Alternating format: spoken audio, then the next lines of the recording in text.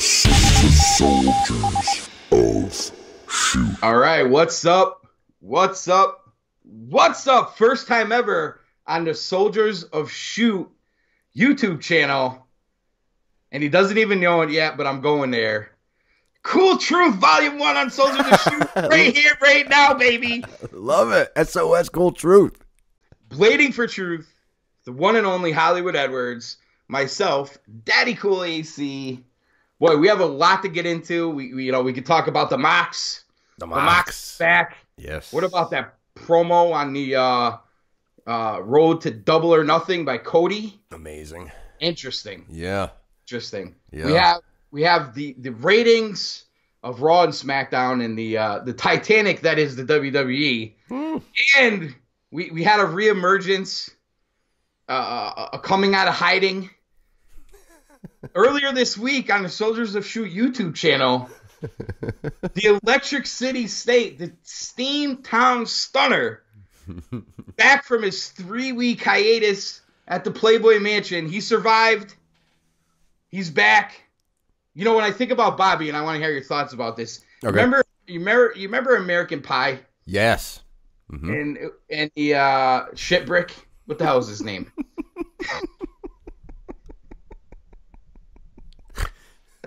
Can't see. Can't wait to see where you're going with this. Oh, do you remember American Pie 2 where he's like doing the the Buddha thing? You know, saving up the uh, the internals. Yes. Mm-hmm. picture like Bobby for you know, you know, two weeks and and, and six days, you know, you know, saving it up, blast off, and he's back. Oh yeah. yep. Yep. I, I got to think that's what was going on up there in Scranton, PA, over the past two weeks. He met Stifler's mom, and you know, Yes. Somebody's mom. that- I don't know. got it all out of the system. Shout out, Bobby. Maybe bailed Sonny out of jail. it's came over to him after. Well, he does only live about 45 minutes away from where Sonny's being held right now these days. So. Conjugal visit. hmm Sunny days, Bobby. I just, it's funny you say that because I just watched that documentary last night. Yes. the uh, the uh, the screw job the uh, on Vice TV they did uh for those of you that don't know on Vice TV they've been doing a series of the dark side of the ring is that what they're calling it Mhm. Yep. Um, Did you watch the Von Erich one last night? I did that one I gotta admit was tough to watch That was tough, man. it was tough getting through that um Like we all kind of know the story, but when you see it, you know, and- and- incident the- after incident, it's like, oh, you're just looking you're just looking at uh what it was Kevin right Yeah. the Wonder Survivor you're looking at him and he's thin as a rail yes, Um, it's amazing. He he looks like he's half dead too. Like, I mean, obviously he's older now. He- Yeah. Who knows? You know. But could you imagine going through life knowing that all four oh, of your brothers that you were that close with mm, died in fashion? They all died at the age they all died at. I, I mean, I would literally heartbroken for that guy. yeah, me too. That guy is a spiritual uh, boss.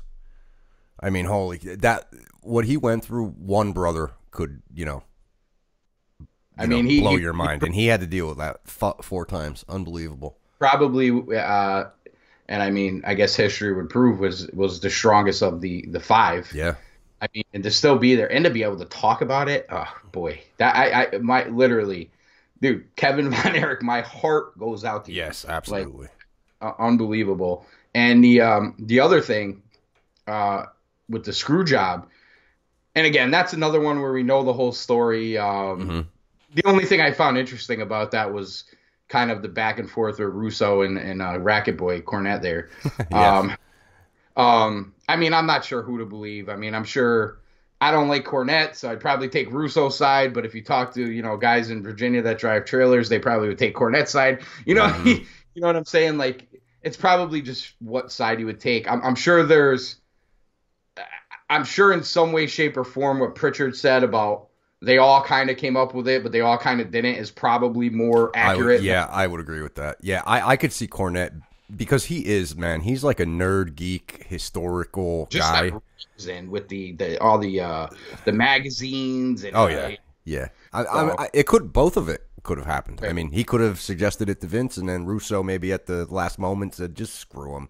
Maybe, Yeah. maybe, maybe, maybe Russo said screw him, and that that sparked something in Cornette's head where he said, well, "I read about this one Yeah. time where I Yep. screwed the guy by doing his move," and who who knows? I mean, listen, at the end of the day, it doesn't really matter. Uh, Vince made the call, Yep. uh, Yep. and indirectly, uh, probably the greatest movie ever made when considering he would become the biggest heel in the history of wrestling coming out of that. And it did a lot for a lot of people's careers. Sure, right. Amazing. And and and the other side of it of Brett's uh, lackluster run. I mean, which is probably In being nice. Yeah, Yeah. yeah. I mean, terrible. it's just.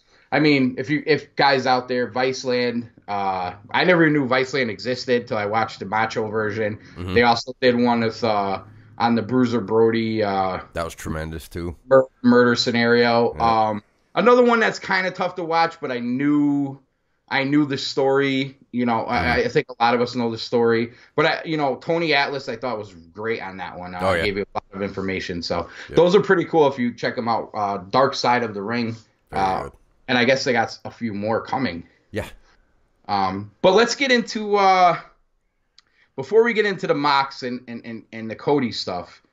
Uh, let's get. I, I know you did some of this rating stuff with Bobby the other night, but it was after Raw, and Correct. then. SmackDown comes in with the dazzling rating of 1.8. Was it 1.8? Was the that official? was the average. Yep, the official Yeah, the, the official average was 1.8. Yep. And there's a lot of things that happen that I kind of want to attack here uh, on Raw. Um, I did not watch SmackDown. After Raw ended, I was just so fed up. I, I had stuff to do on Tuesday. I, I mean, I probably could have watched it today. I had a little bit of time, but I was just like, why bother? And especially after listening to you talk about it, it's the same show with a few different faces Yeah, basically. which you kind of know. Um, and and I I heard you bring up a few things that I thought were interesting. One is Vince ready to go crazy here and you know scrap the whole thing and restart? Is he is he ready to bring a Russo in? Uh, could he do an NWO angle? It just you brought up so many ideas. And Bobby actually brought up the fact that Brock Lesnar's not going to fight in the UFC. And I don't want to spend a lot of time on that, but Mhm. my guess would be that has a lot to do with tests and things of that nature. Yeah, uh, yeah, and, and, yeah. and there's another side of it, and it's probably not for this podcast. I think there's a monetary side to it with the W or with the UFC going to ESPN Plus streaming the pay per views. Um, there's I've been reading and hearing a lot of rumblings about them playing with the numbers to try to not pay fighters the same amount of pay per view points, which is Oh. something I heard Randy Orton talk about way back when when Vince started the WWE network. Yeah, Remember there were a couple. I think Punk came out and said that too. 'Cause Oh, Punk was another one. That's Yeah. one of one of the reasons why he left. I yeah, believe. yep. So uh, I think the UFC's headed down the same path. Path, and maybe Lesnar's like, you know, f this. Um, a does Vince just scrap what he's doing and go right back to Brock? And B, if he does do that, did he hurt that by what they did opening Mania? Oof. Uh, I could see why that would be. Her. See, I, I keep thinking the night after Mania was 2.9 million. Now they're down to 2.1 million for Raw. So if you go back to that, let's just let's just say, for argument's sake, the 800,000 people that they lost were Brock Lesnar fans. Is it too late? You know, if you just have him come back, walk him in, and take the title back from Seth, are those fans going to come back? I don't No. think so. I, I don't think it'll work. I'm just saying, is this is this a one of his irrational? Mm. This is the way to do this. Then yes, it, it could be. Yep. I, I I'm I mean I'm almost at the point, and I mean, listen, this is just we're two guys talking on microphones right now. Yeah. We're we don't have the pressure of uh, shareholders and you know billionaire deals that are made with Fox. Mm-hmm. But is he just going to ride this out through the summer and say, "You'll see what I got coming when we go to Fox"? Now, you brought up something to me on Twitter, and you know, I wasn't arguing with you your point. I was just making the point. Uh, do you get a little more edgy and do you get a little more Fox like? And then you know you brought up a fair point that it's been reported that they wanted a more sporty show, but to my question would be why on Fox? Like if they were going to Fox One, okay, maybe I could see it, but you're going to Fo- the Fox network. See, I don't know where the edgy word came from because all the reports that I read, they wanted it to look like more like a real sport to fit in with the NFL on Fox and the college football on Saturday. Right, and I, I agree. That's that's what I I'm saying. That's where they should go. I'm oh, okay. Well, they- absolutely, they should. Yeah. I'm saying is, do they look at this and you know you kind of have this mysterious thing going on with with Bray Wyatt now? Mhm. Um, I think they want you to think this is goofy, but it's actually not going to be goofy. I think you have a creepy kind of psychological deal going. Maybe Right. I'm reading too much into it. No, no. And maybe I'm giving them too much credit. Well, um, we can always say that, right? it's always a But- possibility. but at the same time is like there was a couple expressions he made like he made this creepy expression then he quickly went to a smile and i felt like he did it on purpose Mhm. like i'm gonna oh wait i'm not supposed to be creepy let me smile right now but i, I really am creepy you know what i'm saying mhm. but i don't think that was like oh i forgot i'm supposed to smile i think that's No, it's definitely that's him being in character Right, exactly. Exactly. But let me ask you that though. It seems like me, Bobby, you just brought it up. It seems like that might be the only positive that people are talking about. People really want to talk about this. Do you think he's going to take take any of that and put some of the blame for the ratings on that and just scrap it? Do you think he's going to see this through? Um, it's I mean, it's hard to say. I hope they do. I mean, I brought this up when I did my solo show last time that I like where they're going with this, and I hope they don't scrap it because the ratings. I mean, I we talked. I talked about the ratings going down on that show, and I Yeah, said, listen, this is the world you're in right now. Your ratings are going down. Live with it, but have a plan and stick with it, and then come out the other side better because of it.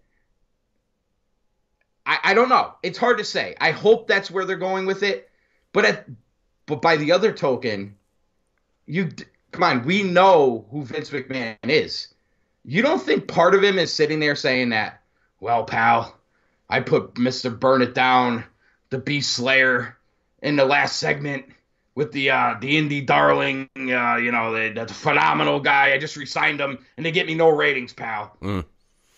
But where what did you put him in? A, a contract signing, which my friend Jim said to me the other day, if I never see another tr- contract signing in pro wrestling, it'll be too soon. I agree. and not not only that, and I brought this up to you through text. Do, do they got to sit there and push their fucking merch? Do I do? Can you? Can it just be a confrontation? Can it just be a back and forth? Do we need to quote our T-shirts every time we sit in the goddamn ring? Listen, I understand it's a business, and I understand everybody's trying to make money, and I get all that. But I'll tell you this right now: they took what The Rock said and put it on a T-shirt, and it sold because he was The Rock. They took what Stone Cold Steve Austin said and they put it on a T-shirt because he's because it's what Stone Cold was saying. It was it was his gimmick. Stone Cold didn't come in the ring and basically say, "Buy my fucking T-shirt." And that, and I'm sorry, that's what Seth and AJ. They're doing it and- backwards now. Yes. Yep. And and listen, I, I said it on the Mania post show. The only thing that rubbed me the wrong way about the Kofi celebration was pushing Yes. the merch. It's Yep. not the time to be pushing your merch. Yep. And here we go again with the, you know, uh, never rest, never rust. What, what does that even mean? Like, sh- shut up. and then and then it's like, I know you are, but what am I? Yeah, yeah. I burn it down. I build it up. When you burn it down, I build it up. You build things up, I burn them down. I know you are, but what am I? I Yep, know you exactly. are, but what am I? Like, come on. It's not even creative. It's not even good. You're just repeating what the other guy said. hmm You know that that's like the battle rap that'll get the guy booed off the stage. Absolutely. You know what I mean? It's- yeah, great comparison. it's terrible. Absolutely. You're supposed you're supposed to you're supposed to take what the next guy says and and and and throw it back at him in a way that you're just like, oh shit, he went there. And then you come back at me, oh shit, I went there. You're not supposed to just repeat what the other guy said. hmm Like like who taught these guys promos? Uh, AJ, we we listen. we all knew this was coming for AJ. Come on, Yes, we did. like we knew this back when we knew this was going to happen to Nakamura. We we knew we called this a long time ago. And then being micromanaged and all this other bullshit. It's it's just it, it's it's coming to a forefront now. There, listen, nobody's getting excited in the WWE world because Seth Rollins and AJ Styles are going to wrestle for a title. Nope. And the reason being is explain to me why they are wrestling each other. Because AJ won some kind of dopey tournament. Yep. Basically. Yep. It's like what you said. They, they just took the New Japan model and compacted it onto one show Mhm. and the number one contender. The problem with that, the New Japan model, like it's Super Juniors, and you know this as well as I do, it's not actually a tournament. It's a round robin, you know, Yep. program that plays out over months that has highs and lows and culminates to the payoff, which is the two guys who came out of each bracket by doing the round robin thing. And listen, there's a lot of dopey three ways and four ways and stupid matches. If you watch any of those shows on like the, the World Tag League or the G1 or uh, the Super Juniors, there's like three matches that mean something to the actual overall tournament. And the rest of it's just like we'll put everybody else in a four way and then you know we'll bring uh, Okada and Tanahashi, and you know you know what I mean. Like Mhm. it's that's the way they book those shows, but they're not expecting all their audience to watch each little show, and then they give you some bigger ones until they finally culminate with the, the big show, and you get your your main event, you get your title matches. You get your guy who wins the Super Juniors. You get your guy who wins the G1 and gets the briefcase, the whole thing.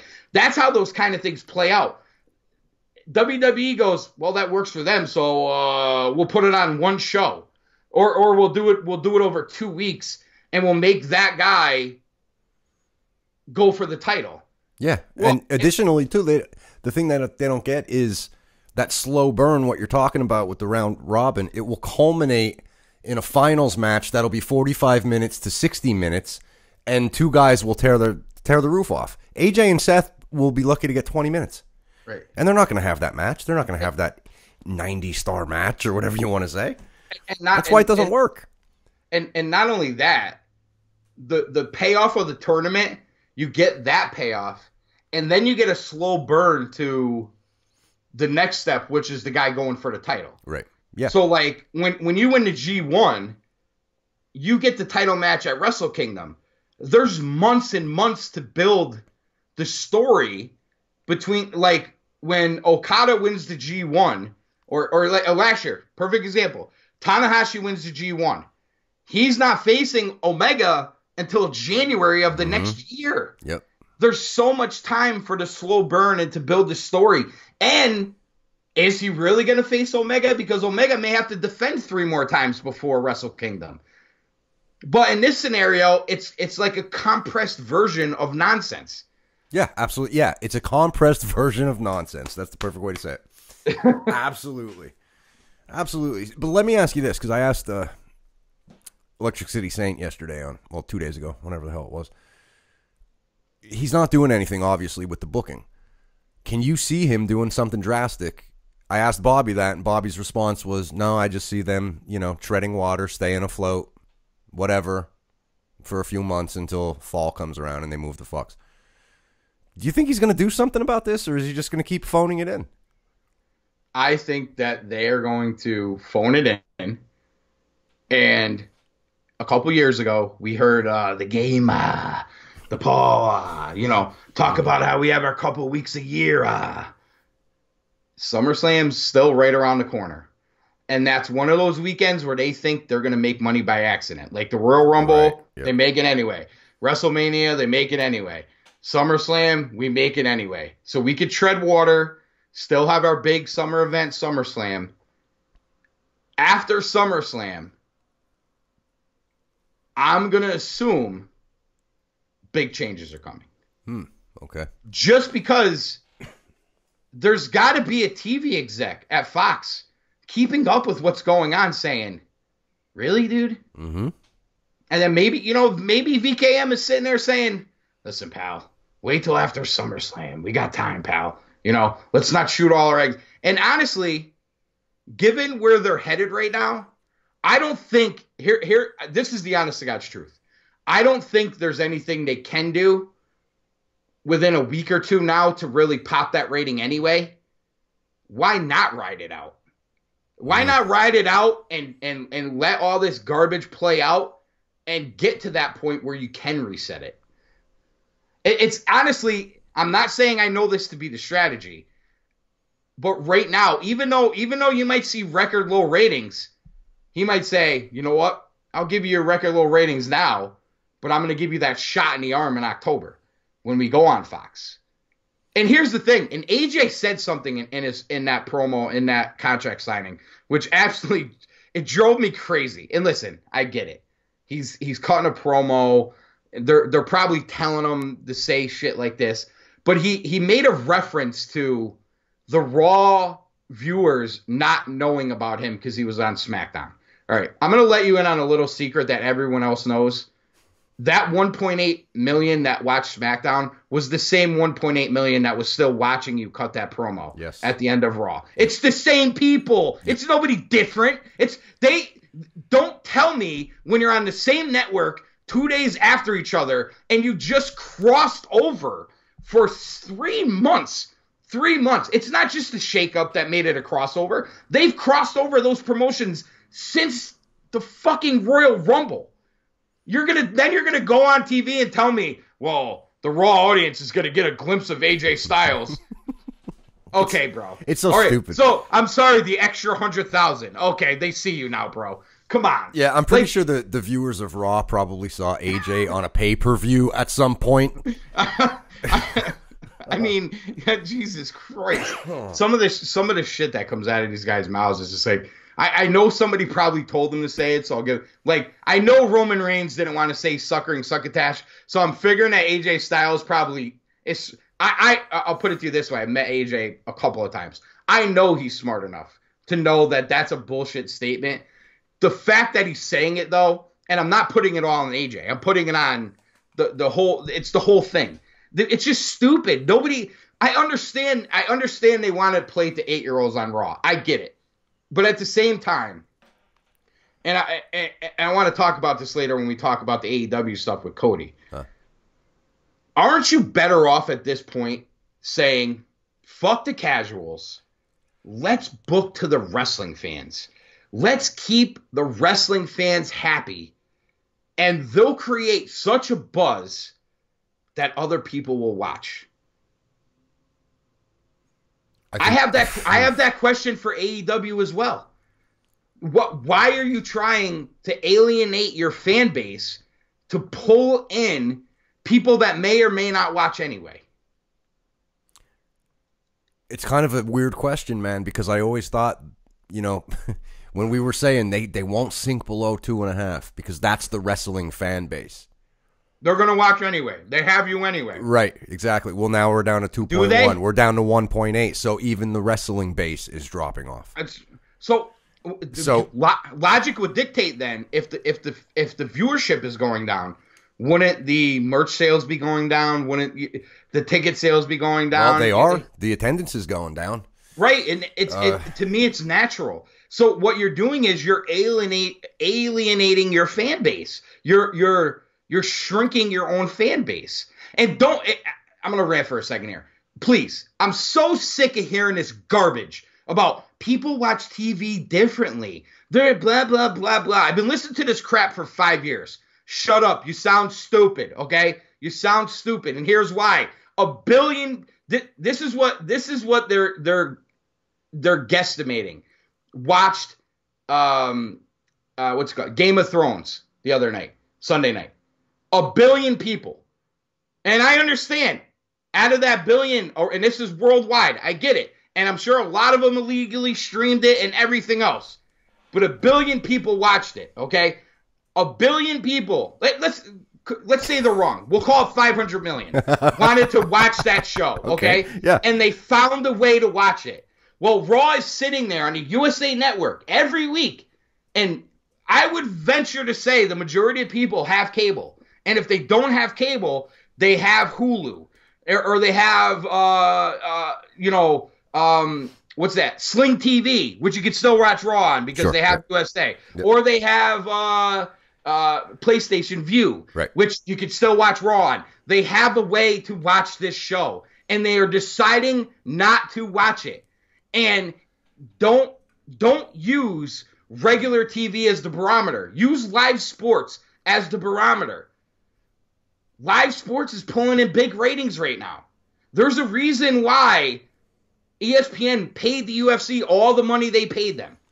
There's a reason why they brought boxing back to regular TV. There's a reason why everybody's trying to get football on their network. There's a reason why TNT has the NBA. They TBS has MLB. Everybody's showing soccer and and uh, car racing. Live sports is it's it's people watch it, it. It's called live sports because they watch it live. Everybody's granted the, the TV show, they're DVRing it, they're watching it a week later. They DVR the whole season and binge watch it. They wait till it hits the Netflix and they be, binge watch these TV shows. For a regular TV show, I agree with you. For pro wrestling, to me, it falls into that same category as live sports. People are watching that stuff live. The NFL Monday night rating on ESPN is higher now than it was when they were on ABC and they were competing with Vince. The rating is higher on ESPN now than it was then, and his rating is way down. What does that tell you? I think it's. I I see your point. I'm not disagreeing with it, but I think it's appointment TV, whether it's live sports or season three of, of the last Game of Thrones season or episode three. It's appointment TV. It's must see. You got to see it now. Eh, WWE's lost it, man. Well, do you watch Game of Thrones? Yes. Are you like uh, a junkie? Have you been like on it the whole time? Yep. Okay, so I I maybe I saw like one or two of the first two episodes a couple years ago. I never really stuck with it or got into it. I, I I couldn't even I couldn't tell you other than Jon Snow and White Walker. I got nothing. Okay. Um, and, and- and I'm, I'm not honestly I'm not disparaging it. I got I got some heat from some people because I posted on Facebook the other day that everybody's talking about Game of Thrones and Endgame, and I just want to I'm waiting for Power season six to start.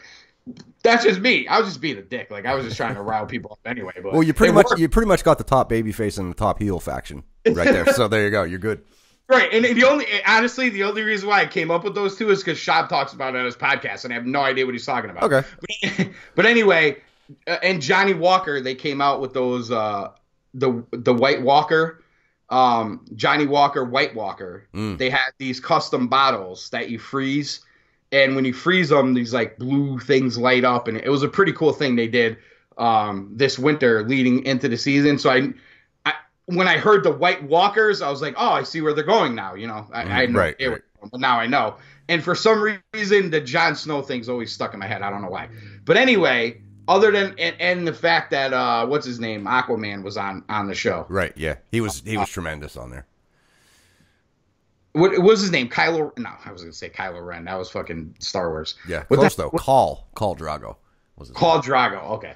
All right. badass, Anyway, bro. I, Badass. I, I, I'll tell you, there will be some day that I will binge watch the entire yeah, you'll do it eventually. I will. Yep. I will. It, will it'll happen. I'm just like, I never got into it, so it's like, well, you know, why? Why try to? I, I'm never gonna make it through now. So Yeah, you're not gonna the- catch up now. Let, let it end. Let it calm down. When I see spoilers, I have no idea what anybody's talking about, and by the time I watch it, I'm not gonna remember, remember. anyway. Yep. So it's perfect. You know? Yep. But anyway, a lot of people want to see want to see this show. They're invested in this show, hmm and honestly, a lot of people are not invested in what the WWE is doing. But um, let's move on here and let's get into something maybe wrestling fans can invest in. Mm. the The speculation seems to be over. Uh, he's broken out of jail. Yes. He's broken out of his chains. The shackles are off. hmm He's back. Jon Moxley. There's no Ambrose. There's no Shield. Nobody's holding him back. We don't know where he's going.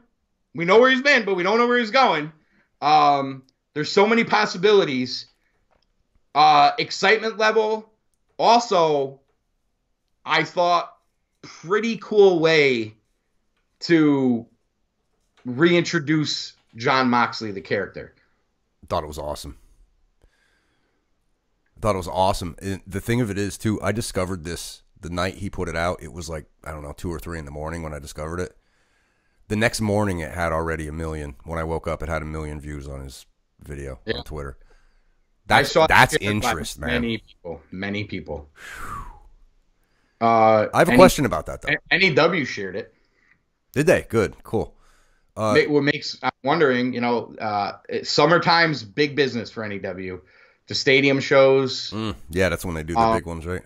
great. Uh, but I, as much as I hope, listen, I hope they sign him. I hope they I get to see Jon Moxley wrestle for NEW. But my hopes and dreams are much bigger for him. I would like to see him do similar to Cody, like a list. Remember Cody's list? Yeah, Yeah, I'd like to see him maybe do two rounds of impact tapings and then scoot. You know, hit hit CZW, hit the entire East Coast, NEW. You know, step in ROH for a set of tapings, and then then eventually end up in AEW. course. Okay, so all right, so let's just let's just if if if that's the case, let's just pick a promotion and pick a name. Impact, it's got to be Sami Callihan. right? Absolutely. Yep. If you go if he goes to ROH right now, Mhm. I mean, you a couple of names could come up. Briscoe, Jay Briscoe, Jay would be awesome. Yeah. Lethal. Yep.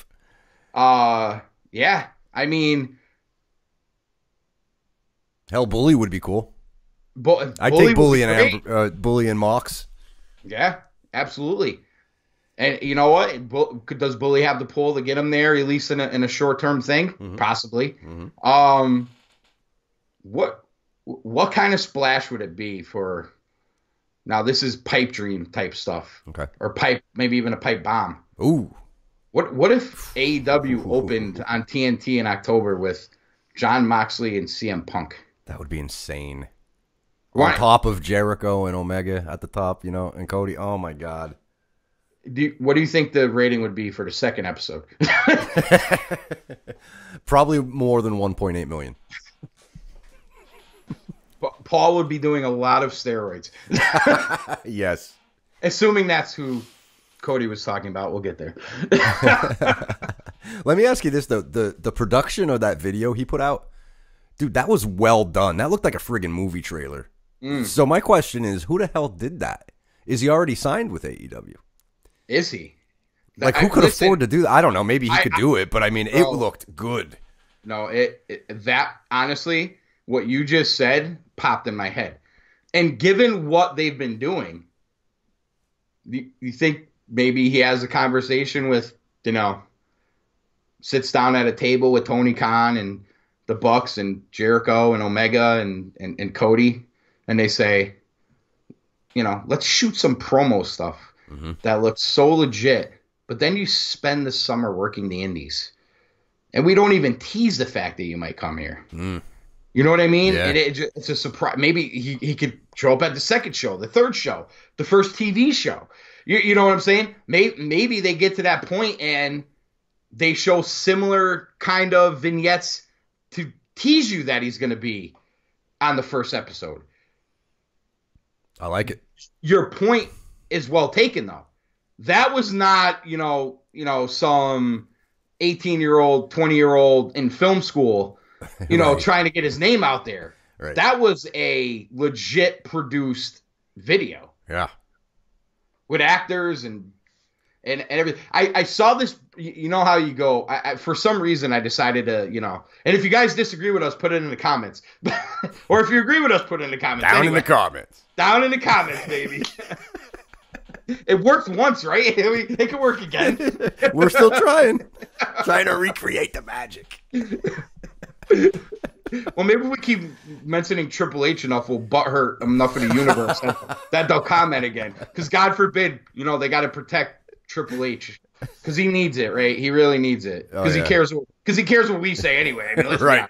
But any, you got to defend them to us, and you're gonna change our minds by doing it. I mean, and if you think you can, put it in the comments. Well said. Sames is at work right now crying. It could be. anyway, um, I, I decided to read the comments under the actual video that Moxley put up on his on his Twitter. I went down. It was a lot of gifs and they were kind of funny, and there was a lot of stuff. And I'm scrolling through, and a lot of it was positive. And I finally got to one. Ah, okay. Look at how professional that was. Vince never let a guy leave like that and did t-shirts and like a going away. He'll be back by Royal Rumble, bro. Mm. And then we scroll down a little bit more. Did you see how he's breaking out of jail, bro? Yeah, we all saw that. We all get it. We get the reference. And there was a big dog. He was getting away for the big dog too. You know what he meant with that one, right? It was Roman Reigns. And if you're listening and you disagree, put it in the comments. But anyway, um, in all fairness to the, the gentleman, I, I don't know, or or or, or lady who uh, made that comment about the big dog, I didn't think about that watching it. Uh, I still think it's a stretch, but did you? Uh, did that? Did did did it, did you seeing that make you think that, or do you think maybe he's onto something? I actually heard Bully Ray say it, and he kind of said it tongue in cheek, but he said it. You know what I mean? Well, Bully said it. Yeah. Mm, Uh huh. that's interesting. Yes. Very interesting. And I, I on that on that note, he he I'm not gonna claim this for myself, but, but I'm gonna drop phrase him. I'm gonna paraphrase what he said, but he said something like uh he was trying to explain the Dean Ambrose, the equity, I think is the word he used, that Vince put into the name and the character of Dean Ambrose. He he finds it hard to believe that Vince would ever repackage him and actually change his name at this point because he's like an ex champ. He was in the Shield. He cannot see Vince doing that, and I, I tend to agree with that. I well, I agree with that part of it. I was talking the big dog part specifically. The part about him going back, I, I think is total horseshit. Yeah, yeah. Um, and we, I mean, we've been, we, we, I mean, I think we've all been pretty consistent on, you know, the SOS YouTube channel. We all thought that this was legit. He was leaving. Um, we didn't, we didn't play into the whole it's a work. Um, right? I mean, I thought we were all pretty consistent believing that from the beginning that this was it for Ambrose. I agree. It's different than what they have ever done, but I also think they thought they could talk him. It, it was something, you know, to go back to the the, the, the, documentary on Viceland. Huh. There was something that um, Prichard said on that documentary about the screw job, saying that we never thought Vince would do it because we all assumed Vince would talk Brett into dropping the title to Shawn. Mm. So that's why it was such a shock to all of us that it actually happened. Is this the same kind of scenario where they just thought that Hunter or or Roman mm-hmm. possibly or even Seth or Vince himself would talk Dean into staying? Yeah. So they Yeah. didn't want to. But at the same time, let's face it, they buried him for two months straight heading into WrestleMania. yeah. I mean, he took he took the brunt of the beating. He, you know, he was the riot squad on the guy side.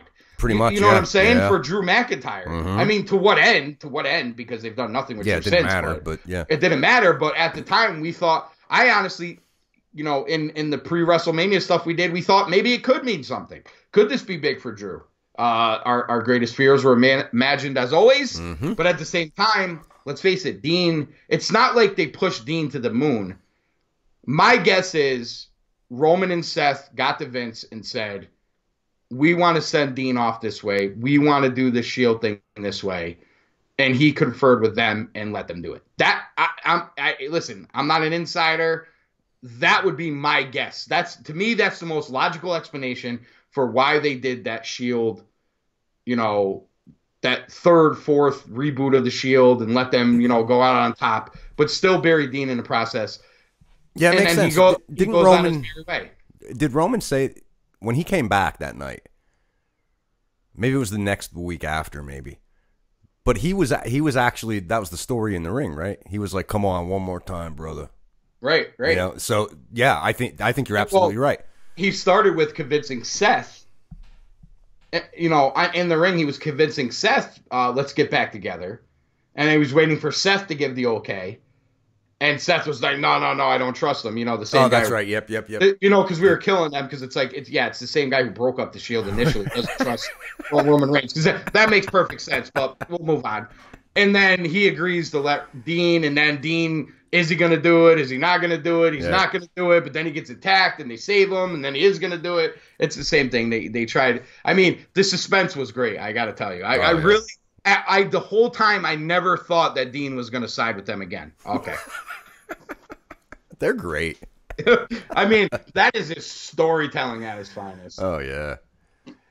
boy meets girl, boys loses girl, boy gets girl again. And so it's a love story. Yeah. Kind of like Dave Gettleman being in love with uh, Dana Jones as well. How you doing with that, by the way? And, and listen, I heard I heard your comment about Dwayne Haskins. Okay, if you think, listen, Dwayne Haskins might be better than Daniel Jones, but if you think he's that good, I got news for you too, bro. I would have been mad if they drafted him. All I said was the better quarterback. That's all I said. No, you, you want to know the pick I was jealous of is I wanted Montez Sweat at 17. Even Oh. though we got Daniel Jones, I wanted Montez Sweat, and then you got him too. I couldn't. I couldn't believe they traded back into the first round and grabbed him. I couldn't believe it when I saw it. And then, yo, what did, what did the Giants do? We traded back in the first round to draft a corner, and it was like 30 of them in the second round. You know, it makes perfect sense. Mm-hmm. It- listen, I could if, I get if I go off on a rant about Dave Gettleman, we'll be here till next week. Okay, True. so Good story. Okay. Okay. we'll save that for another day. Remember remember remember when I went off about McAdoo sitting Eli? That's Yeah. how I feel about Gettleman right now. All right, but anyway, uh, Okay. All right. Enough And- said. I agreed with him tra- trading Odell, but the rest of it, fuck you. Uh, at least, hey, listen, you're guaranteed two wins this year. All right. Maroon. We have no defense. I- Anyway, right. I'm not. I'm not. I'm not even gonna make a bet with you this year because I know we're gonna lose both games. I'm just Hey. gonna. I'm just gonna put my tail between my legs. we picked up a pretty good free safety too. I don't know if you saw Mm. that. Who was that? I, I can't remember. you overpaid for him anyway. You know, the guy that's not in your secondary anymore. The guy that thinks he's the second coming of Sean Taylor. I know. Uh, well, now, come on now. Sean's off limits. Let's be real. Landon Collins. I know. Actually, Landon Collins is a very good player in the right system. He wasn't the right player for the Giants in their present defense, but I have a lot of respect for Landon Collins. Okay. Good enough. leave it at that. All right. Um, so where are we? Moxley. Um, Moxley. we kind of did. I mean, I'm sure there's going to be a lot of speculation down the road till he's booked for a match. Um, with NEW sharing that and calling him a great talent, um, Lombardi has a lot of connections with WWE talent for many reasons. Uh, he also has connections with AEW. He has connections with Starcast. I don't know where that I, I don't know where that's headed, but hopefully we'll see Moxley soon Yes. in many in many places. Um, and I'd love. I, I listen. Even if he doesn't go to Impact, somebody at Impact and somebody at AEW, if he goes to, assuming he goes to AEW, get together, do a talent share. Wrestling fans, no matter where it is, Impact, ROH, New Japan, AEW, want to see Moxley versus Sami Callihan. Right? Absolutely. I, I cannot think of a more perfect feud It has to and be not done. and not once either.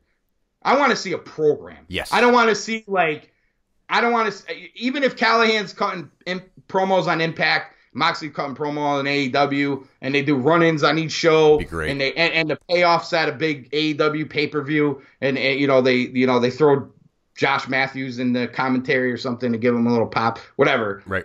this is the program we need to see. And the other one I I, I, I want to see is him and Punk.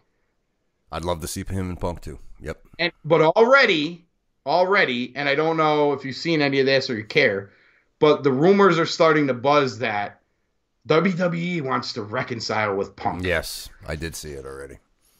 Are they are they starting to get nervous that with Moxley being out there and this AEW thing's getting very real very quickly? hmm uh, Jim Ross, uh, the whole deal, uh, which you know is not a bad mind to have at your wrestling company. Um, you got Jericho there. You're Uh, hearing he has rumors relation- about uh, Revival getting five hundred thousand dollar offers a piece. That's a million dollars for that tag team. If that's true, pfft, yeah, he's scared. He's getting nervous. But then, but then on the other side, with Punk having so many problems with the way they do business, does he get clued into something like they've done with Luke Harper, where they basically said, "Yeah, we're not going to release you because you were hurt, and we're not going to honor that as time on your contract." Yeah, yeah, I just read that today, man. Like that's that's a tough way to treat your talent in this day and age. It mm-hmm. really is. You're listen. You're not gonna. First of all, I've I've always said this with people that I work with or who work for me. Obviously, there's limits, and obviously, you can't kiss everybody's ass. I get that. But creating Well, maybe like bit, a hot waitress here and there. Maybe no. the story for another day.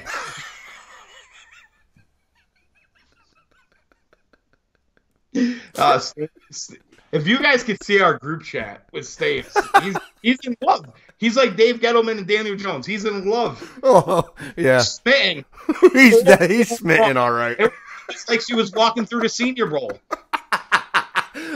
Look at her! Wow. God damn, pal. Maybe she could fight the man. I got some comments about the man before you go either either. Too. Oh yeah. but anyway, yeah, sure. let's let's uh um where we got off the rails here. Oh, I oh, know. basically what I was saying, creating some kind of uh you know, you know, a healthy work environment, keeping people excited about coming to work, it is a good thing. And when you do something like that, you know, are the Usos looking sideways? Is a guy like the Miz saying, "Hmm, really?" Mm. You know, you know what I'm saying? Like, doesn't it? Or, or there's been other people that wanted to leave, they can't leave. You know, the whole thing. I get it. Listen, you're under contract. You're under contract. Right. It doesn't mean you could leave, but when you start manipulating the contract like that, and that's manipulation. Let's be honest. Yeah, that's that's Uh, BS right there. And you've basically done next to nothing creative with this guy for a long time, other than that Bash Brother nonsense. Mhm. Um, I mean, it just it comes off as bad, and I don't. I'm not so sure that's the direction they want to go in right now. When you have guys like Cody and the Bucks who want to take care of the talent in the business, you know. Yeah, I think that's one of the draws to the. I mean, if you look, uh, look, I've been talking and we've had private conversations about a guy like Ace Austin. You know, if he sees, okay, Luke Harper, oh, okay, they screwed him into eight more months just to dick with him, or I could go to these guys here, Cody and the Bucks. They want to take care of me. Where's a kid like that going to go? Mm. You know, that's Or- the, that's the stuff he has to start thinking about.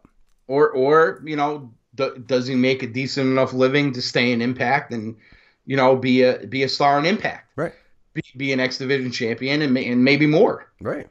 because the one thing is and um i mean maybe we should talk about impact a little bit the pay-per-view uh and shout out to brian cage uh who s- suffered a back injury uh I, it was devastating for i'm sure for him of course and all his fans. He had this big moment, and we were all Mhm. kind of hoping for this big moment. And I don't watch Impact every week. I like the pay per views. I think they're entertaining. Uh, and when you have guys like Brian Cage, who I've been watching a long time, and I want to see do well, yeah, I'm gonna watch it. And he had a very good match. Um, I actually at one point thought like this isn't the normal Cage, and it's probably because he was injured. Uh, but he he said there was no way he's stopping the match. Yeah, yeah. There was definitely a spot in the match where you could tell. Like, I think you could see them calling an audible at one point. And then, and you know, I actually thought, and I, I talked to my uh, my good buddy there from Kicking Out Two podcast, Diamond Dave, and we talked about it. Yep. We both thought that the Elgin segment, he didn't even need to attack him. You knew why Elgin was out there. Anybody who's watched wrestling, anybody's a wrestling fan, and I'm gonna assume if at 10:45 or 10:30 or 10:20 on Sunday night, if you were watching that Impact pay-per-view, you are a wrestling fan. Right. Yes. You know why Michael Elgin's out there. You know, he he might shake he might give you a little code of honor, but he's out there because you got what I want. We like that's it, it's in the eyes, it's in the actions. I didn't think he needed to go as far as attacking him. Get put that aside for a second. Cage not only, you know, does the finishes the match, but then takes the bump from Elgin. Brian Cage is a man. Uh, hell yeah, he is. and, and Elgin looked great too, by the way.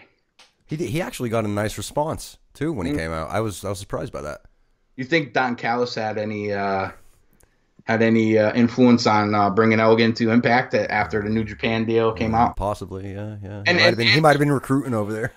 Right, and I mean, New Japan didn't exactly do a lot with him. You know, they had him in spot Michael Elgin, you know, ah, Mhm. you know, but they never really, they never really went to a next level with him. You know, they put him with Tanahashi and those quirky tag matches they do, but they never really did anything big with him on his own. So I think Impact's a good landing spot for a guy like Michael Elgin. Yep, I and I think it's good for the younger guys on the roster to have a guy like Michael Elgin there. sure, absolutely. Yep. Um, but big for Cage. Um, the other thing in Impact that uh, I wanted to bring up to you, and we could probably tie this in with the uh, the man and it, this the double trouble and everything else. Yep, yep. Um, the, Tessa? yeah, oh, the the knockouts division is the best women's division on the planet. Absolutely, I agree. It- 100%. it is not even close. Nope, I agree. It's not even close. Dude, how good is she? How good is she, man? Tessa Blanchard, I'm going to say this right now. Say it. And if you disagree, put it in the comments. But listen clearly, Tessa Blanchard, it, it, it it's not even close. Is by far Mm-hmm. the best women's wrestler on the planet. On the planet. Mhm. Period. Period. End of story. No debate. You can't debate it. She's the best women's wrestler on the planet. Yep. She could wrestle men. She could wrestle women. She she has a she has the look. She's she's she's grown up in the business Mhm. the whole thing. Te- Tessa, how did WWE I don't know. oh on somebody like Tessa Blanchard when they're trying to give you this women's revolution is beyond me. And I know, and I know, guys like White are going to be out there. Oh, she's tough to deal with, oh, because you know, you know. Listen, I met Tessa once when when her and her and Ricochet were a thing. They came to NEW. Tessa had a match. Ricochet had a match with Flip. We talked to him after the show. You know, it was it, it was it was nothing special. It was cordial. Like I mean, they're not gonna be like, "Oh, you're AC," because they don't know who the fuck I am. You know what I mean? It's not like when I see Flip or Taven or people I know. It's like I get a hug and the whole deal, and we talk about life and everything else. But they they were cool. But Tessa, I'm watching Tessa, and I'm like, she is too good to be here yeah, yeah. because the she was in the ring with didn't match up. You, you know what I'm saying? Mhm. Like she was, sh her talent so far exceeded who she was in in the ring with. I wish she was wrestling a guy. I wish she was wrestling Flip or something. You know what I mean? Mm-hmm. Because the She's match that was good. tremendous. She's that good Yep. and she and she's physically able to do it because she's in phenomenal shape. If you want to talk about a women's wrestler being the man, it's Tessa Blanchard. Yeah, absolutely. And the TV show too. I don't know if you got that impression just by watching the, you know, the hype video before their match on Sunday. But she's playing a great heel. I mean, I would argue she's one of the best heels on the show. You know, You know, we're gonna. It's Oh, God, sorry. great. She's great. We, you know, we're gonna get into the Cody thing, and he brought up the match at All In, the women's match, Yes. being the best of what women. Tessa Blanchard won that match. Yes. Yeah. Tessa Blanchard stole that match. Mhm. okay, so this is not this is not anything new. She's been doing this on Impact, and she's doing it again in the best women's division. You know, a couple years ago, before um, you know, he had AEW and this this tag, a bunch of tag teams have now left Ring of Honor, New Japan. You know, we used to give Ring of Honor a lot of credit for having the best tag team division, and it's their tag team division is still good. It's not what it was because you don't have the Bucks. You, you know, you have SCU. You know, it's kind of been split up now. Mhm. Uh, and I actually think AEW is building a fantastic tag team division, and they're signing a lot of tag teams who mainstream fans don't know yet, like Private Parties. Shout out Marq Quen. Um, I was stoked when I saw them got signed. That was I, I never expected it. That was tremendous, and it, you guys are for a treat with Private Party. But anyway, um, the Knockouts division is so good. When you watch what they're doing in the Knockouts division, and then you go back and watch what they're doing with WWE with the women's division, it, again, I, I feel like when I was sitting at NEW saying Tessa's too good for this. She's too good for that. hmm S- I, I, I'll give you one caveat though. Charlotte and Ronda. If you bring Tessa to WWE, you have Charlotte and Ronda. You have a couple years of programming there. Oh, absolutely. The best of them, Bayley, Sasha, Becky, and I love Alexa Bliss, but her too. Not on her, not on Tessa's level. I'm sorry, they're not. And I, the the specific match with um with uh help me out here. Gail? Yeah, Gail Kim. Sorry, you know me. I always forget names. The specific match with Gail Kim. Uh, watching the highlights headed in, watching the the build up. Um, I thought it was great. I thought the match was great. Tessa wins. Gail did the job for her, Mm-hmm. And I didn't even mind the break into the kayfabe and Tessa kind of.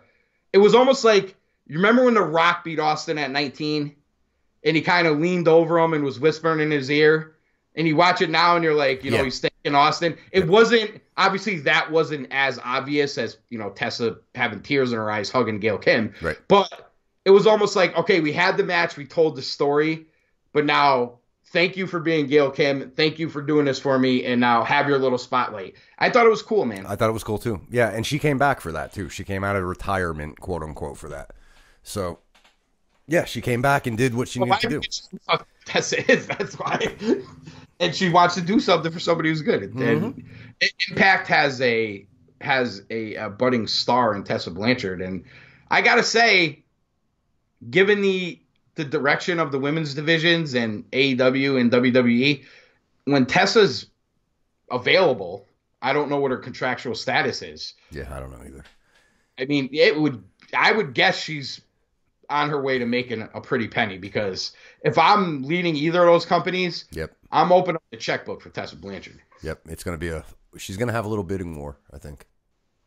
All right, and uh, before we get on to Cody, I'm Yeah. thinking that'll we'll close out with that. Okay. Uh, the main event, the uh, the uh, what you call it there, the uh, the tag match between Lucha Brothers and LAX. Mm-hmm.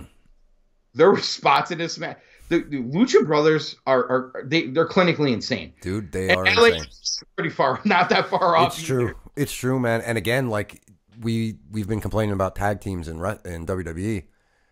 LAX, I was really unfamiliar with that LAX until I Yeah. started watching Impact. You know, five six Same. weeks ago. They're they're another awesome team that's out there. Mm-hmm. Um, I I think the Lucha Brothers did, did you know did the job for LAX as they're probably I'm I'm guessing they're done with Impact now, headed you know back to AAA and maybe some indie shows, but mostly for AEW. I you know who knows what all contractual stuff. I know that AEW wants the talent to keep working till the TV show starts, so they don't get rusty and the whole deal. Uh, but boy, yeah, how could you not be looking forward to Lucha Brothers versus Young Bucks at uh at Double or Nothing? Oh yeah, and I saw that they added the AAA title belts to the match too. Yes. Uh, yeah, they they brought that up on one of the Being the Elite shows.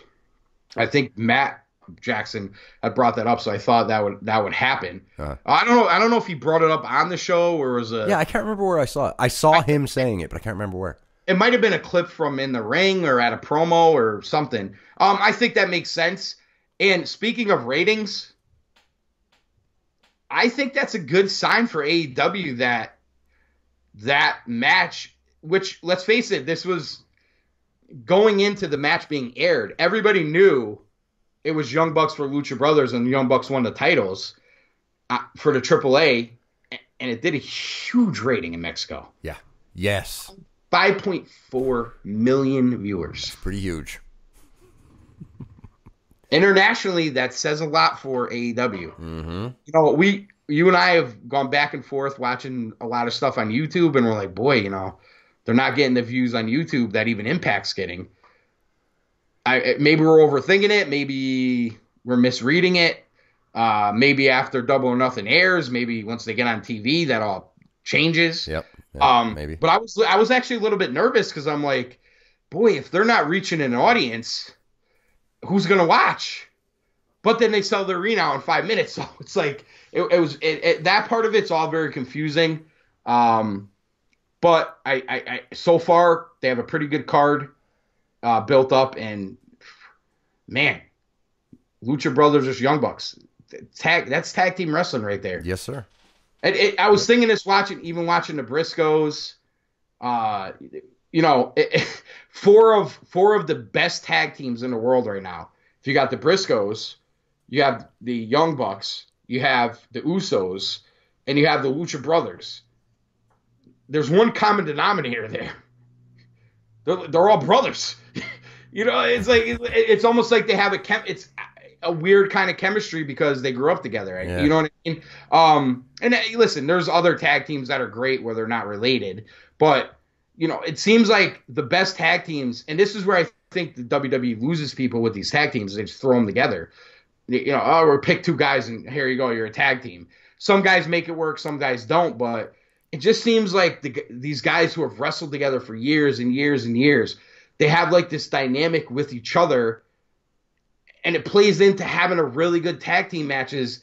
It- It's just something lost on wrestling. When you watch really good tag team matches, Mhm. Yeah. it's fun to watch.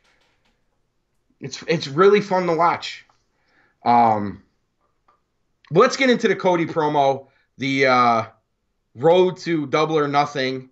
Uh, as it's now known, Cody's opponent is Dustin Rhodes, who has you know uh, retired the Gold Dust uh, gimmick here and has uh, changed the face paint, and it's uh it's a family affair here. Uh, the the the older, much older brother Dustin versus Cody, uh, and Cody cuts an interesting promo on many levels. I'm gonna defer to you here. What'd you think overall, and and, and, and just let's gra- start grabbing some points and going to it because there was a lot. There was And a lot in this, In yeah. four minutes, you could probably talk for four hours about it. I just I like that, you know, it was kind of a follow up to Dustin's, but it he's kind of taking it generation versus generation now. They're representing both generations. I think it's interesting, but there were so many things that he said, man.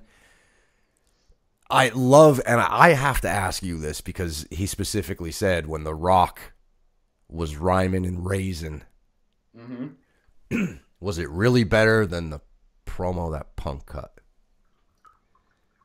When he said that, I thought of you right away because, of course, it's Punk and Rock.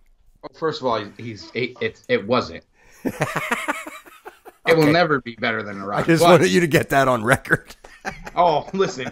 Anybody who's listened to me already knows what I thought about that. I thought though that it was interesting he found a way to bring Punk's name up though. Yes. Maybe I'm reading again. We could read a lot into everything he said here. Um, he could be working us. We all know anybody who knows, except for you know the WWE marks out there, the the the fanboys who think you know Cody's some big dummy. Cody Rhodes is very intelligent. Oh, by So- the way, by, by by the way, they announced Dustin. He cuts this promo, and I saw a comment somewhere, probably on Twitter. Oh, Cody versus Dustin. Yeah, that's gonna put asses in seats. Yo, dipshits! It sold out in four minutes. The seats, the asses are already in the They're already seats. there. They're already there. Okay. They're already there. Plus, if you didn't watch All In, Cody booked himself as a mid carder, even though I think it was crazy. But you know, I, I it's not like Cody said the main attraction is me versus Dustin. Right. There's fucking Chris Jericho versus Kenny Omega, and mm-hmm. like we just talked about, the Young Bucks versus the Lucha Brothers, and a whole host of other matches. Yep. Those three for me, I'm in. I mean, if I wasn't in, that would have got me in just those three matches right there. But the the same guy who probably tweeted that is probably out there going, "There's never any stories in wrestling." How about a fucking story that writes itself? Yep. Yep. I like stories that write themselves because they're believable. Cody versus Dustin, how's that not believable? Then they throw two great promos on YouTube gotta to keep the story going. I mean, You got you got to remember, it's not like Cody and Dustin were playing in the sandbox together. no. Does they, you know, Cody was with Dustin's out wrestling. Cody's a baby. He's, he's a child. They, you know, you know, there's a lot of separation there. Who, you, who, you know what I'm saying? Yeah, Um, yeah. I'll, I'll say this too. I'll I'll get some General Stames in on this show because we had a conversation about this. He and I off air, and he said, you know, he's pretty sure too. Like from Dustin's perspective, Dusty was a young man when he was a baby. Hmm You know, and they have, I think, separate moms. So I'm sure by the time Cody came along, his experience as a kid was probably a lot, a hell of a lot different than what Dustin's was. I'm guessing. You know, because there is a big age gap between the two. And it kind of from from uh, Dustin's promo, that's kind of where he was taking the story. You know, before Cody released his. Do, do you have a brother? Yes. You do, right? You have a younger brother. Older, older. You have an older brother. Oh, so you're the younger brother. I'll say your brother's jealous of you. I wouldn't go that far. No, I'm joking. I'm joking. You know, you know. There's. I mean, think- I am Hollywood. I mean, you know. I know. I mean, you're you're writing scripts. I mean, you're right. I actually I actually heard Magic Melvin Dassey on the air this week. Where did I hear that? Ken Reedy. Oh, that's right. I heard it too. Ken is back. Yes. Ken is back, and he swears now. He swears a lot now. Interesting. Ken, I love you. We're just joking. It's just funny, bro. All nothing but love to the Ken Reedy show. It is different to hear, though. I'll say that. it is. It is. It's very different without Dave on it too. Yes. I'll yes. say that. Yep. But shout out to Dave is doing his uh as I brought up earlier is kicking out at two. And shout out to Ken Reedy for coming back with Rocky and uh they're they're kind of doing something different. So if you've been a fan of them, just feel free to listen. We're having a little fun with it. Uh especially since Ferrara obviously was the first caller. I mean, of course, why would a Ferrara be the first great. caller? It's but amazing. anyway, I, I, we got to give Ferrara credit for this. Without without Ferrara, we would not know that Joe White was a scumbag, and we wouldn't know that you worked in Hollywood. So I mean, he's he added something to our whole process over these five years. Absolutely. He added a lot. 100%. Oh man. Anyway, I am an older brother, and growing up, although we were both we were all treated well and the whole thing, and uh, you know everything else, but I always had this like. "That Baby brother, they Mhm. like him more. You know what I mean? And he probably, you know, if you talk to my brother, they're probably like, "Oh yeah, older brother, he could do anything Oh, the wants." favorite, the Eh, first. there- You know, And, and listen, there's probably a lot of truth to both sides of it, right? Right. First of all, I'm an Italian. And anybody who knows Italian families knows if you are the oldest Italian son, at the end of the day, you could commit murder and you could do nothing wrong.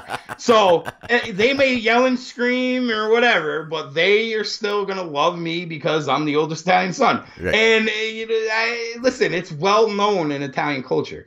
Uh, but at the same time, there were times where I was like, "Oh, baby and the little guy," blah blah blah blah. And my brother was always smaller than me. And the whole thing. I, my point being is, I could see where you know Dusty's on the road, especially in the territory days, so much not around Dustin as he's growing up, the whole deal. You know what I mean? Mhm.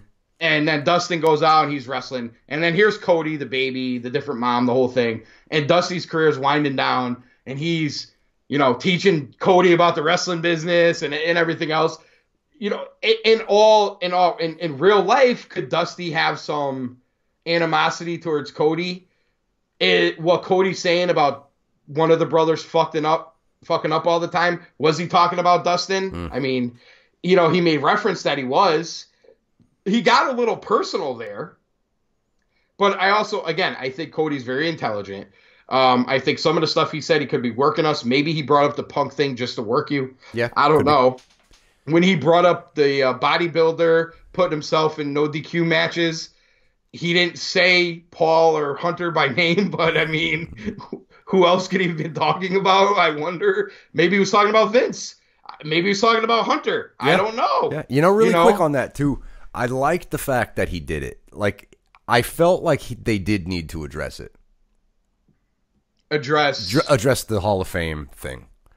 okay. You know, because I'm pretty sure that's why he said it. It was just a, a quick little jab response back because people were clamoring for him to do that. So I'm kind of glad he did it. You're, you're talking about them saying the uh, anybody could be a COO or CEO Yeah, or yeah. whatever the hell they are. Yeah. Uh, you know, yeah, uh, Hunter's comments. You mean, Yes, Hunter. Yeah, which probably means he was talking about Hunter. probably. I, you know what? That's a good point. I didn't consider that when I thought maybe he could be talking about Vince because we all know Vince probably did, you know, as much steroids as Hogan. And I have no, I just allegedly, allegedly, you know, Allegedly. He was Yes. eating those tremboloni sandwiches.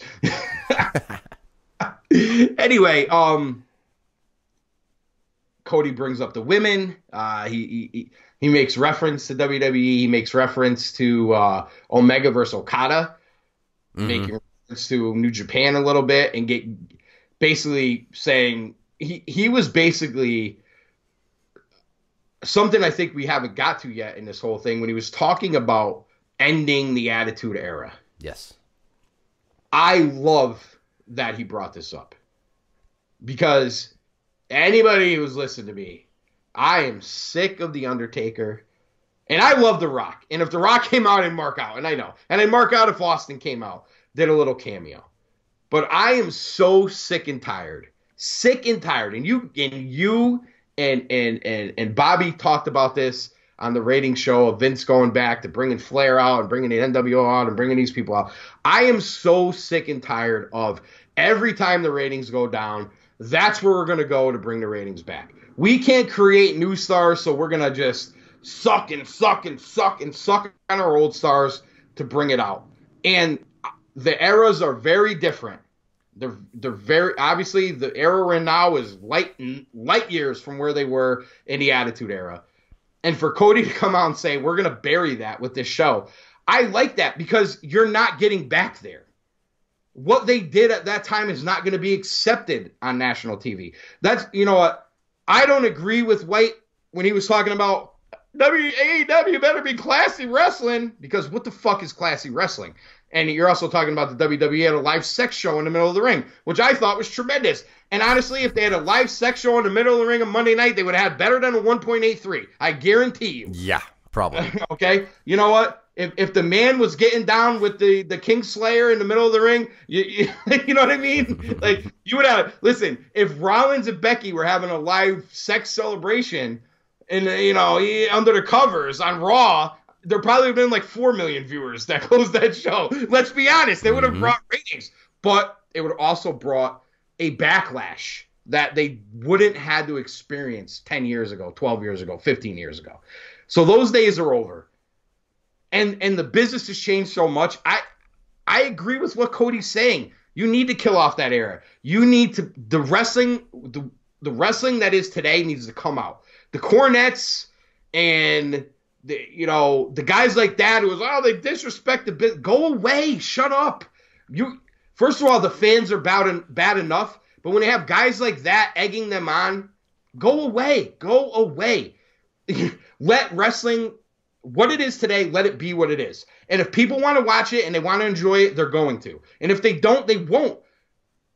But when AEW come, they may come out and do a lot of good things on Double or Nothing. But you're going to have the Jim Cornettes of the world. You're going to have may, maybe even Bully. You're going to have a bunch of guys go out there and be like, even they did it. They did it after All In.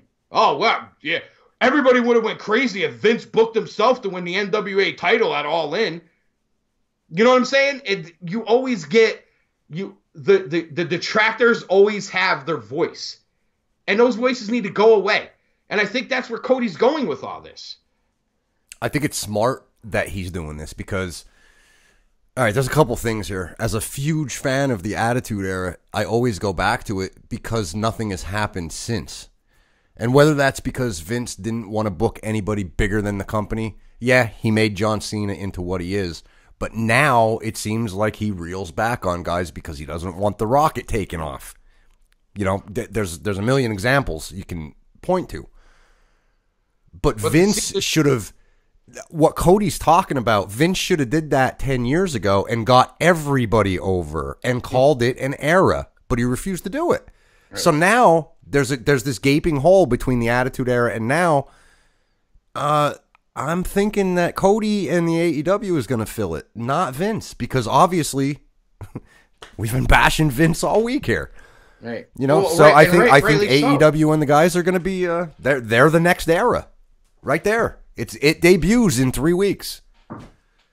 Honestly, I I am not a John Cena detractor. I'm not. But I'll say this: I think as big as Cena got, and as great of a guy he is with the Make a Wishes and all this stuff, I think he is going to take heat for the rest of his life as a pro wrestler for causing all this, being that he didn't take it to the level of The Rock and Austin did, and even Hogan did. Yeah, but he didn't have the. But he, but John, he stayed within. He he didn't he didn't bust through that glass ceiling. He went right up to that glass ceiling and stayed where Vince wanted him. Mm-hmm. Austin didn't do that. You know, when Austin didn't think it was right that he lose the title to or lose lose the feud, lose the match to Lesnar, he didn't show up to Raw. I'm not saying that's not showing up is the right thing either. I'm just saying is, you know, if when when Vince pitched the idea you're gonna lose to Bray Wyatt, I think John goes, okay, I'll lose to Bray Wyatt. I'll just beat him on the next pay per view. You know what I mean? Mm-hmm. And Austin's like, well, hold on, let's let's have a story here. Uh, if you want me to put Brock Lesnar over, I'll put him over, but let's do it right, Vince. Right, right, right, right. You know? Yep. And I think I think The Rock has has some of that in him. You know, let's face it. There's a lot of guys that wouldn't have done what Cena did for The Rock in, in, in WrestleMania 28. Oh, you, you mean to tell me this guy goes away for 10 years and I've been the biggest star you have and I got to take the L for this guy? I think that's another situation where John was like, you know what, Vince, if you think that's what's best for business, I'll take the L to The Rock. Maybe throw me a bone next year. And of course, he throws him the bone of, yeah, you're going to beat The Rock next year and you're going to win a title, pal. You know what I mean? And I think John Cena is probably the biggest yes man Vince ever had. It's very possible. One of them. He's up there. Up there. Yeah. Well, I mean, obviously, Shawn and Hunter, and you know, Shawn, we could go down. Yeah, yeah. And, and, and I'll be honest, you know, getting back to that that uh, that documentary, and it, it, I've heard this on other documentaries and stories and shows and everything too. Shawn Michaels just comes off as such a little bitch. If you Doesn't believe, he? If you it, uh, now listen, his side was not said. I'll, I, I will say that his side was not said, but with the the the, the hair and him complaining about an unsafe work environment. And Bret talking about him crying because he knocked Vince out in front of him and he didn't get one knocked out. Shawn Michaels comes off as a pussy. Let's be honest. You know what, dude? Too when I remember watching that, I still have. I can picture Shawn grabbing that title and heading up the ramp. I thought for years he had nothing to do with that, and I found out. Of course, now everybody knows. He said it. Yeah, he knew. Yeah, he knew. Of You're a course. little ass kissing bitch, Shawn Michaels. I hate to wanted say it. You're one of my childhood heroes, but guess what? Turns out you're just a yes man. I, Terrible. I, I, I, I have to say, I, I'm not going to say I'm on Bret's side because I, er, f- personal feelings put aside, you know, Bret Hart has always been p- uh, portrayed to us as the guy who gets the business. He came up in the business. His dad is the business. His family is the business, and da da da da da, and all this stuff you hear. And Bret goes out and refuses to put Shawn over. I get the personal stuff, I get it, but at the end of the day, he's all about the business, right? Why didn't he put him over? And the second part is, although I like that he had the balls to do it, it just p- disproves this idea that Bret Hart was all about the business when he did those interviews saying that this was horseshit and they, uh, I, I, you know what I mean? Like he he didn't pull any punches and I actually remember Prichard saying on this on this uh, on this documentary, he was saying is they never thought Bret would do it. They figured they could screw Bret, and he respected the business so much that he never say it, and they were wrong about that too. Now get it, listen, they fucked him over, and he was pissed off. But at the same time, part of what Vince said with Bret screwed Bret, which is probably one of the most fam- one of the most famous things he's ever said. He said a lot of famous things. Uh, he's actually not wrong though. I'll I'll put it to you this way, Are you a Mark? Are you a Bret Mark? kind of. I can tell. Okay, here we go. Ready? Here it comes. You're so silent. I can Here tell. it comes. I was waiting. The Wrestling with Shadows documentary.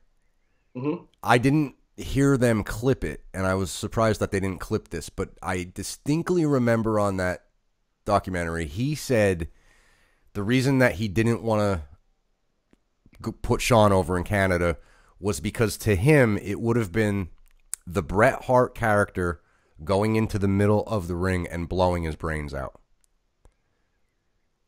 because he hated Shawn so much. And the story was the Canada versus the United States and how their characters would flip flop depending on where they were. So on from that respect, like when I saw that originally, I always had Bret's back in it because yeah, people will say he didn't do the right thing. He left and didn't put the next guy over, but in a sense, he's right because more guys need to do that. Like we talk about this all the time. CM Punk kind of got pissed off He- because he's, he, he's protecting his character. he's protecting. Yeah, he's protecting everything he built. Mm. So it's like uh, from that perspective, I could see it. I mean, especially if it's like this is a major guy.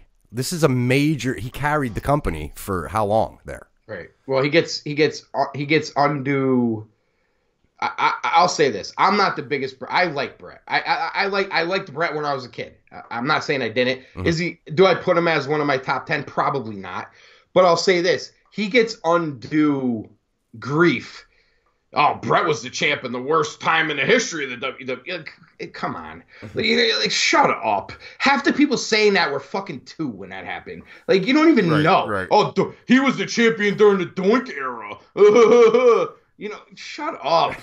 you know, um, I actually don't think. I think Bret gets sucked into that uh, technician, you know, Yes. wrestler type. They don't realize that Bret wrestled hard. Yeah. You, you, you know, uh, he there was impact in his maneuvers. Yep. Eh, There was a lot of when he whipped someone into the turnbuckle, it looked real Yep. you know, and I think that's lost on people who don't really watch his matches. Again, Yeah, everything he did, like his knee, his knee drops, his elbows, like everything was like it looked real. It looked like he he had impact behind it. And I did think it was funny how he called out Shawn for putting on the sharpshooter wrong. I, every time he does that, I always laugh. I know. He's like, Shawn put out the sharpshooter wrong. As you can see there, I had to fix my legs to help him out.